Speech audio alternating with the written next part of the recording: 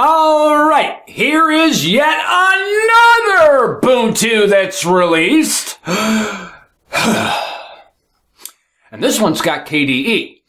This is Kubuntu 1310 right now on Spatry's Cup of Linux.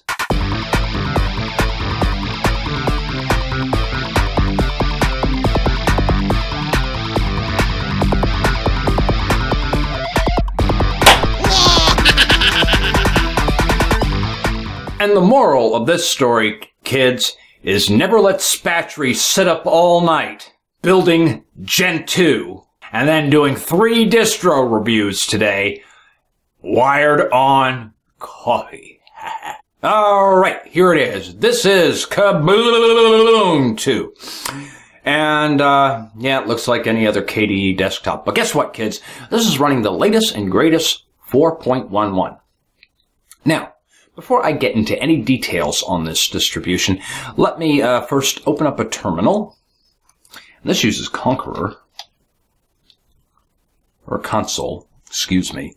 and I'm going to run a command called top, T-O-P. Now, I just booted this up and uh, haven't run any software at all. But it looks like at its base is using 864 megs. Wow. Nice little chunk. So make sure you got a few gigs of RAM installed on your system for this.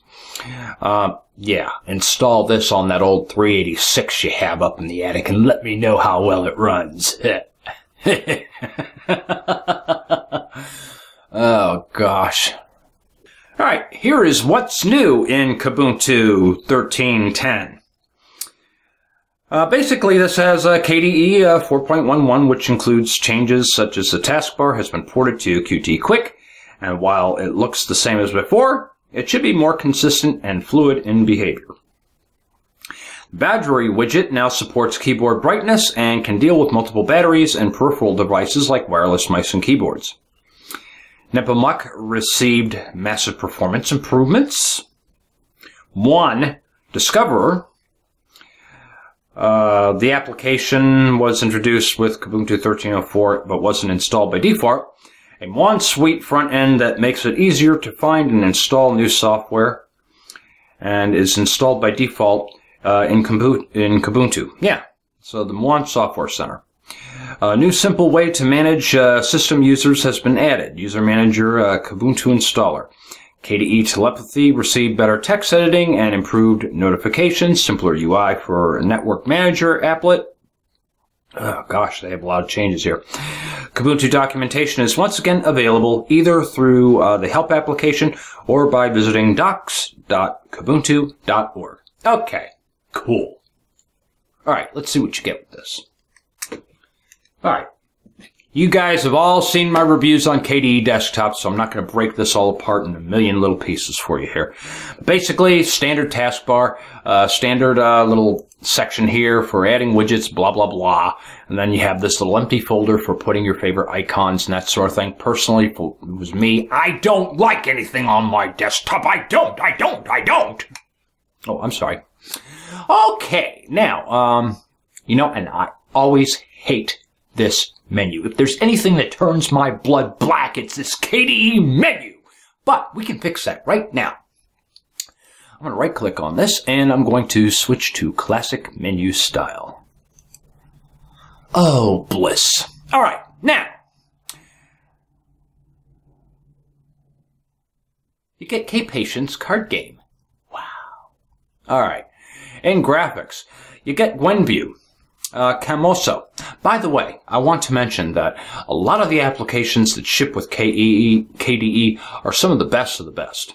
Uh, hands down, uh, they've got excellent software. Um, so that's one advantage for running KDE, but you don't necessarily have to have KDE installed on your system to use some of the applications. This is well worth your time just to look at some of the stuff that this comes with.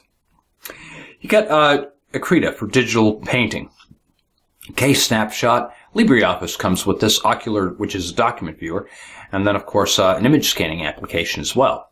Internet, you get um, a feed reader, you get Bluedevil, uh, you can manage your uh, contacts, uh, internet dial-up tools, uh, Mozilla Firefox, uh, KTorrent for all of your BitTorrent needs. Great for those of you distro hoppers out there that are downloading torrents and all that other fun stuff. Uh, you get uh, Quassel IRC client. Never tried that one. I'll have to check that out one day. And then you get Recon Q web browser. Multimedia, you get Amarok, Dragon Player for video. Pretty neat application. I haven't used that in a long time. You get K3B, the flagship disk burning software. You want to uh, do some really cool things with disks, and guess what? You can put add-ons in this. It'll rip your DVDs and CDs and do all kinds of stuff. This is the most comprehensive uh, disk burning utility out there. So uh, even if you're not running uh, KDE, you should download this and check it out. But make sure that you download the optional dependencies uh, for it to get all of the functions that this has. And then, of course, you have KMix, which is their sound mixer. As I mentioned, you get the LibreOffice suite with this, along with Kmail and uh, K-address book and Kmart if you like shopping too. I'm just kidding. All right. And in settings, uh, input method, system settings, and everything is right here. Uh, this also, you'll notice, you'll notice there's a little bit of a glow around this window here. That's KWin running. You want to know more about KWin? Search my channel. I have videos on it. Okay, let's see what else we got here. Uh, some utilities, Ark, which is their archiving tool, Kate, uh, KCalc, Klipper, uh, KMag, KMail, KMouse, KNotes. Yeah, okay. And then, of course, there's that help we talked about earlier in the beginning of the show. And uh, but yeah, this looks like a standard uh, uh, standard KDE desktop to me, um, and it appears to be faster in response than other KDE desktops that I've looked at in a virtual machine in the past.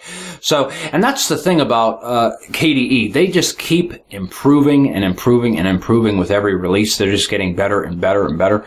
So uh, that's always refreshing to see because I use some components of KDE in my uh, Linux desktop. So all in all, nice job, Kubuntu team. Uh, don't worry, this doesn't have any uh, spyware, Amazon scopes, and you know it's not going to report to Facebook unless you want to report to Facebook on your um, web browser and that sort of thing. And while you're busy, uh, while you're busy doing Facebook, why don't you uh, send the NSA my love? I'm out.